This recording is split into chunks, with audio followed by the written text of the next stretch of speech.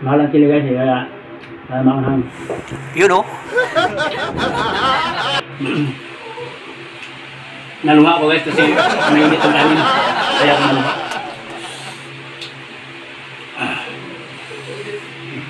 Hi guys, welcome to my channel. Boy Lutong Pinoy para sa pagkain Pinoy. So guys, magmumukbang tayo ng inihaw na limpo at saka peritong tilapia. So guys, bago tayo magmumukbang, so magluluto muna tayo guys. So yan.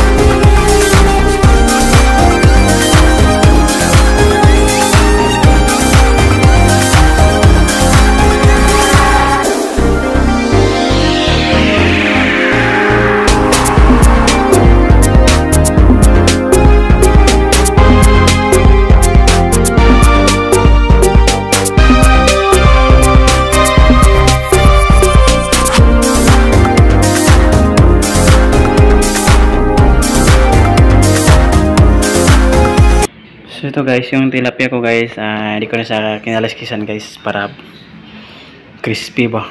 Yung peritong tilapia natin para crispy.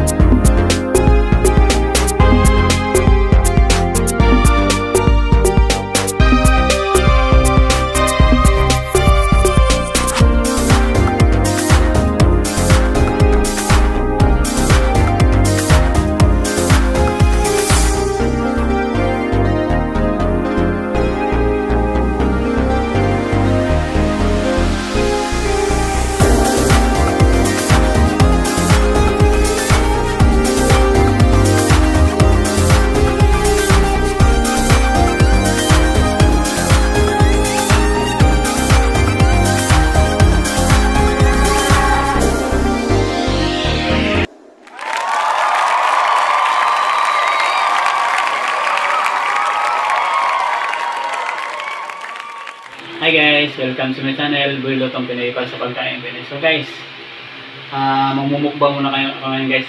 So kanina, nagluluto ako guys. Kaya ngayon, i-mumukbang na natin guys. So ito yung ano natin ngayon guys. So, ah limpo, saka pritong tilapia, saka ito guys, simpleng ulam ito guys. So, nakatagutom to. So, yan guys, pinasasawan ko ngayon guys. So, ah tuyo lang sa ano. Lagyan naman natin ng kalamansi. Yan.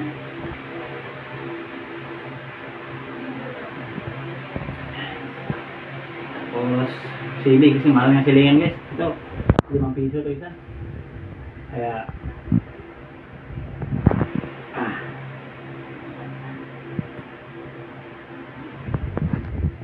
So, nagtitipid tayo ng sili guys. So, para satisfy tayo sa anghang natin. So, ito na lang gawin guys. So, nahugas ako ng kamay guys ha.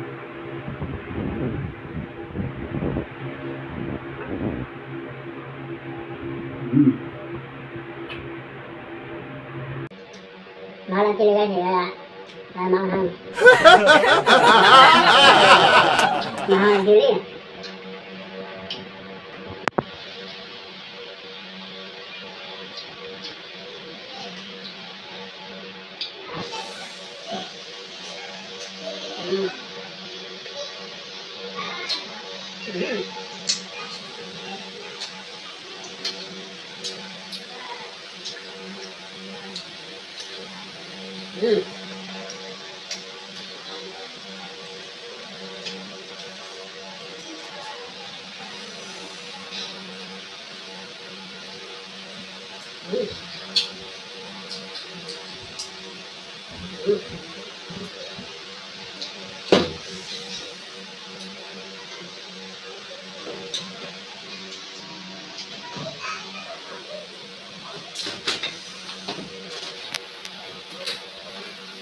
Ano na ito? Nasasawang guys. ha? Maraming maliliit na sibuyas para ano lang, kalamansi. Mm.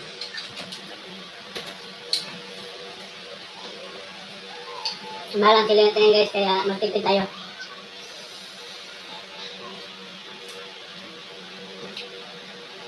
Para maramdaman natin ang hangin.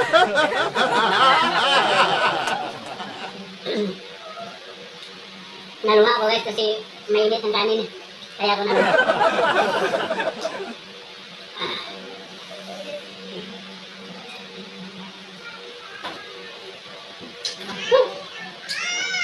Nakakaluwa pala pag mainit ang kanin.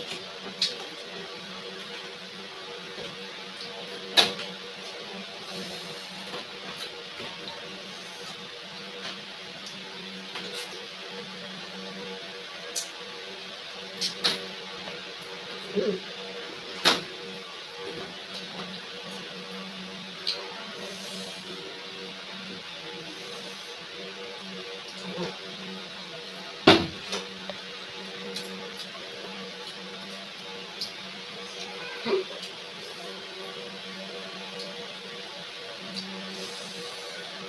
sibuyas yan. Mm.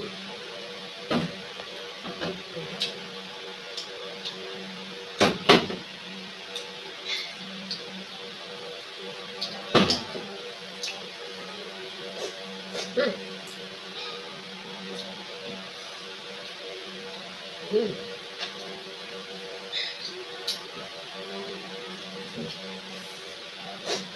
Mm. Mainit ang kanin guys, mainit. Huh. Mahal ang sili guys, kaya magtipid tayo. Para maramdaman natin ang uh, itong gawin natin guys. Hmm. Hmm. Ang init ng kanin.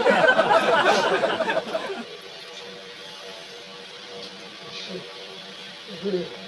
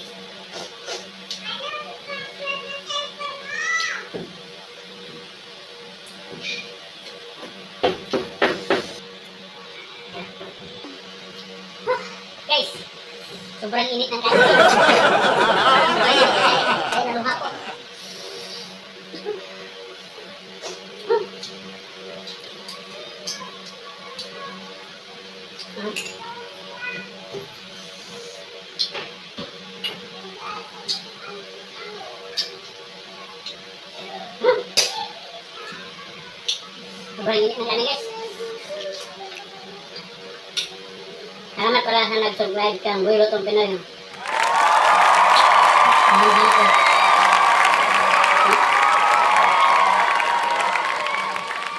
Po. Ang init ng kain. Ang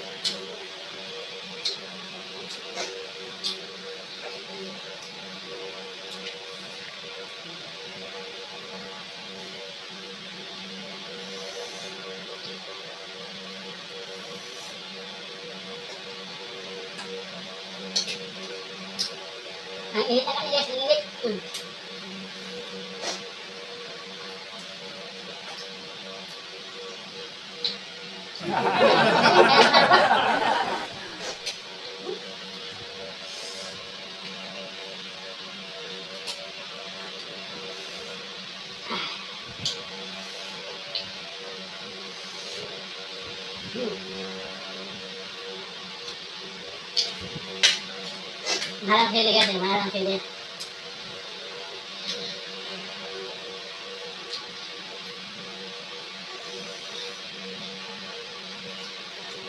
Five minutes later. So guys, ang init ng kanin guys, ang init. Ang init ng kanin. Kaya ako na ganito. Ah. Mm.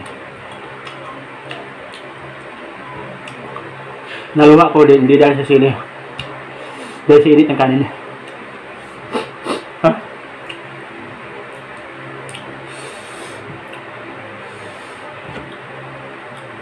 So guys.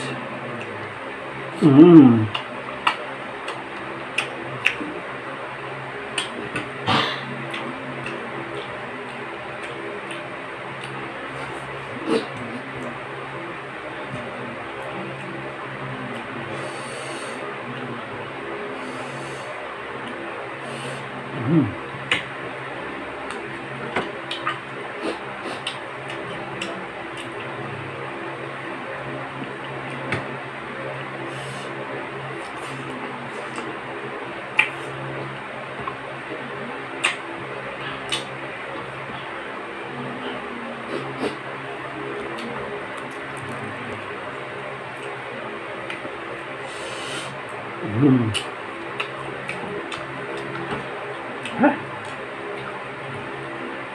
Ang init na kanin, ang init.